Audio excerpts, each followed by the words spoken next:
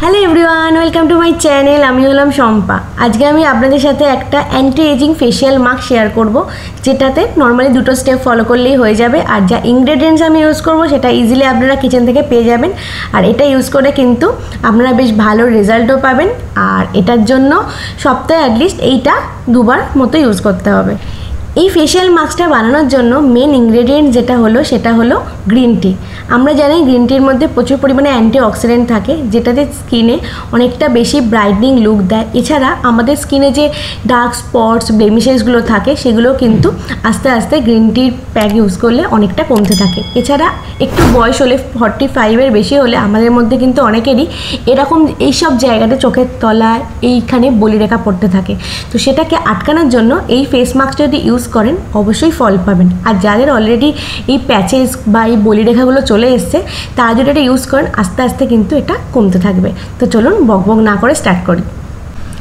তো আমি এখানে একটা tea bag green tea use করেছি।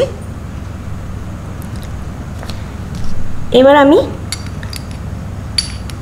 সামান্য মধু দেবো, হাফ চামচ মতো। আর এক চামচ আর একটু নেব। দু চামচ মতো দই নিলাম। এবার সব কিছুকে ভালো করে মিশিয়ে নেব।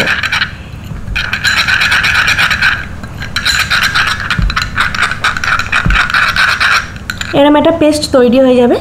এবার এটাকে আমি ফেসে লাগাবো। তো আমি এবার এটাকে ফেসে লাগাবো।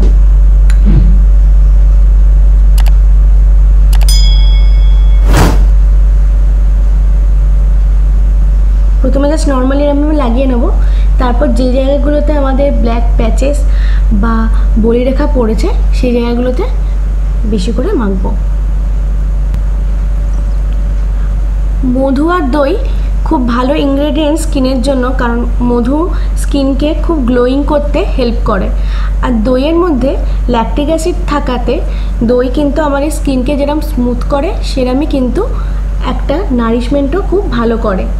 আর এই গ্রিন টির সাথে আমি দই আর মধু দিয়েছি এই কারণে, কারণ এই তিনটে জিনিসই স্কিনকে এতটাই বেশি হাইড্রেটেড করে যাতে কি হয় স্কিনটা কিন্তু বেশ একটু গ্লোয়িং লুক দেয় আর এটা কিন্তু অনেক দিন অবধি স্টে করে। আমি আমার ফিঙ্গার দিয়ে এই যে মেন জায়গাগুলো মানে এই জায়গাগুলোতে বলি রেখা বেশি আমাদের পড়ে তো এই জায়গাগুলোতে আমি বেশি ফোকাস করব।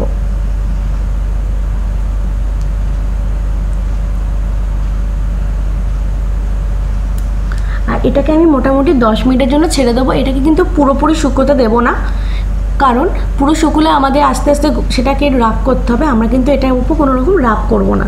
জাস্ট এটাকে মেখে রেখে দেবো।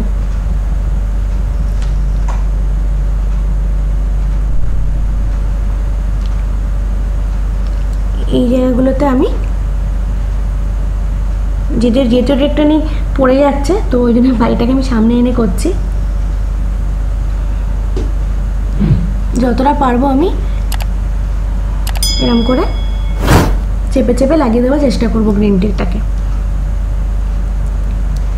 ব্যাস, এটার পর আর একটাই স্টেপ ফলো করব। তো এটাকে আমি মোটামুটি দশ মিনিটের জন্য রেখে দেবো একটু শুকোনোর জন্য। তো আমি মুখটা ধুয়ে এসেছি নর্মাল ওয়াটার দিয়ে। তো আপনারা দেখতেই পাচ্ছেন স্কিনটা কিন্তু অনেকটা সফট আর অনেকটা ব্রাইট লাগছে। তো এবার আর একটা স্টেপই ফলো করতে হবে, সেটা হলো এভিয়ন ক্যাপসুল নিয়েছি আমি। এটা আমার সিক্স হান্ড্রেড আপনারা চাইলে ফাইভ হান্ড্রেডে ইউজ করতে পারেন। তো আমি জাস্ট একটু কেটে নেব। তো এই ক্যাপসুলটা থেকে জেলটা পুরোটা নিয়ে নেব। আর এর সাথে আমি সামান্য ক্যাস্টর অয়েল ইউজ করব। জাস্ট টু ড্রপস এবার এটাকে ভালো করে এরমভাবে মিশিয়ে নেব হাতের মধ্যে। লাগিয়ে নেব। এবারে এটাকে জাস্ট এরকম করে ফেসের মধ্যে ড্যাপ করব। আর যেখানে আমাদের নর্মালি এখানে বলিরেখা পড়ে, চোখের পাশে ডার্ক সার্কেলস হয়, আর এখানে বলিরেখা পড়ে, তো এই জায়গাগুলোতে বেশি করে মাখবো।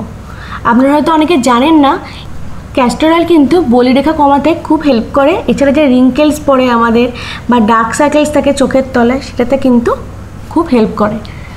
তো এটা একটু একটু স্টিকি স্টিকি লাগছে, কিন্তু পরের দিন সকালে যখন উঠবেন, তখন দেখবেন যে কিন্তু অনেকটা ফ্রেশ লাগছে। তো এই স্টেপটা আপনারা মোটামুটি সপ্তাহে দুবার মতো ফলো করুন, তাহলে কিন্তু আপনারা ভালো রেজাল্ট পাবেন। আর আমার ভিডিও যদি ভালো লাগে, তো প্লিজ সাবস্ক্রাইব করবেন। আজ তবে চললাম, টাটা।